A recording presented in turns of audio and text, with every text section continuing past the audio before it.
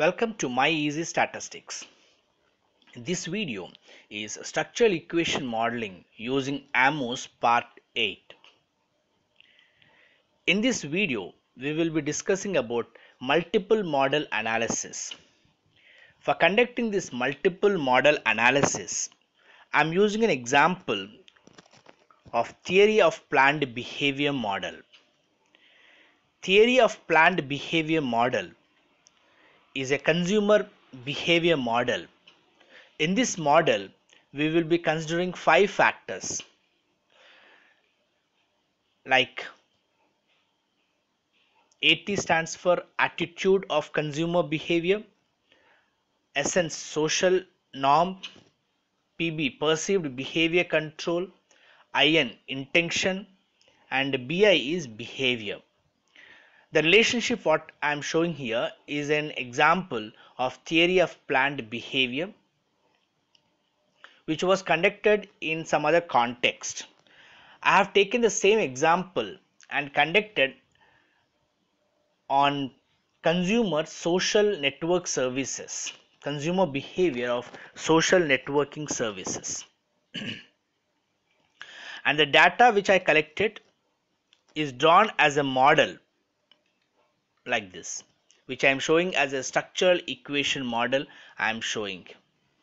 Where the relationship is like this like is perceived behavior control is impacting intention social norm is impacting intention attitude is inten uh, impacting intention.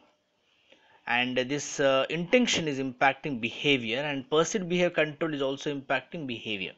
Whereas social norm and attitude is not directly impacting the behavior so this relationship what I'm showing in a model uh, is a theory of planned behavior.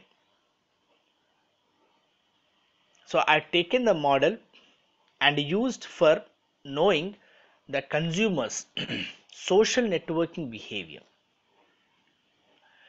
Okay, so this let me execute this and see how the data is. Okay, let me add the file.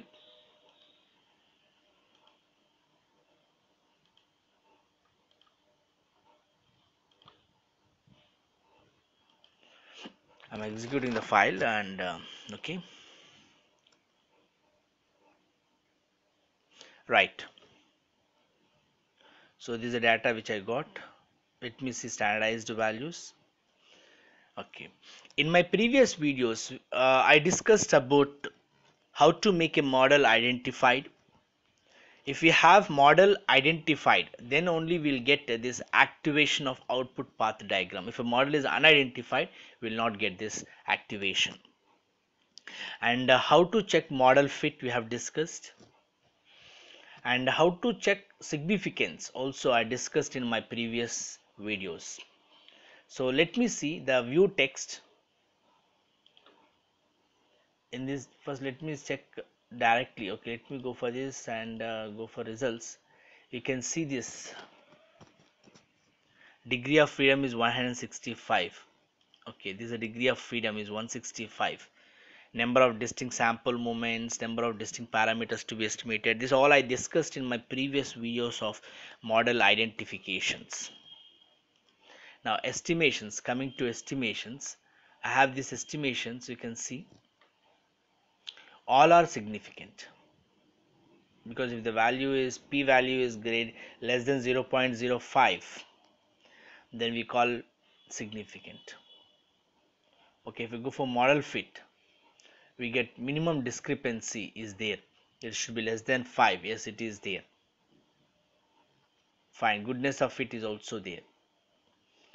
Okay now coming to the point I want to use changed model for theory of planned behavior. I want to do a small change and create one more model and see is there any difference between model A and model B. Okay, so to do this, what I'm going to do is go to default model. Okay, go to default model. Let me call this model as A model. It's our TPB model and I want to create a new model. Let me call it as a B model. Okay. So here I got a A model and I have a B model. Okay. A model I don't have any constraint. I took as it is theory of planned behavior. But coming to B model I want to do a small change. That is perceived behavior control impacting behavior I want to make it 0 okay let me call it with a variable name that is W label it. Regression weight I am calling as W. Okay so in a model I don't have any constraints. But coming to B model I want to maintain a constraint that is W is equal to 0 right? So A model I am not going to maintain any constraint. But in a B model changed model. I want to keep a constraint that PB perceived behavior control has a zero impact on behavior. Whether this is going to be correct model or not correct model we are going to discuss. Let me execute it. Calculate estimates.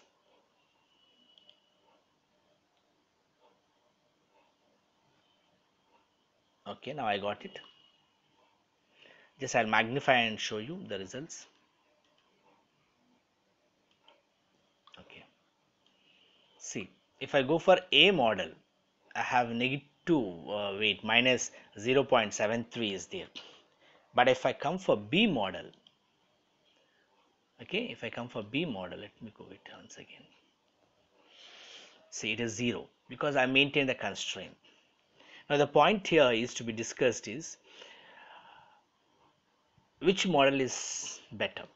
So already I have confirmed that A model is correct if A model is correct is B model is also correct if I make it 0 is it correct? That's what I want to compare.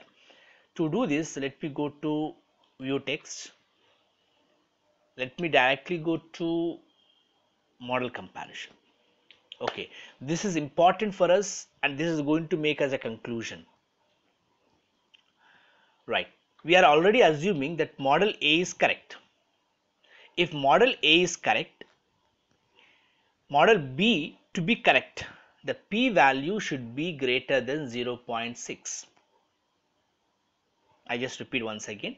If model A is correct model B to be correct p value should be greater than 0.6 but in our case p value is 0.012 which is less than 0.6 so b model cannot be correct. That is what modification what we made in theory of planned behavior is not valid so coming to the model perceived behavior control has an impact on behavior of consumer if I make it 0 that model what modification I am doing is not correct. I cannot consider that model to be correct. So this is how we can come to a conclusion and compare model A with model B and check. We have a base model that is model A is a base model because I am taking this basing on some theory. And basing on that model, I am going to make some modifications in exploratory way and see whether I can get that the second model is correct or not. So this is possible by going the feature called as model comparison. In my further videos, I'll discuss in elaborated way how to go with this model comparison. For now, I expect this information is useful for doing multiple model analysis. Thank you.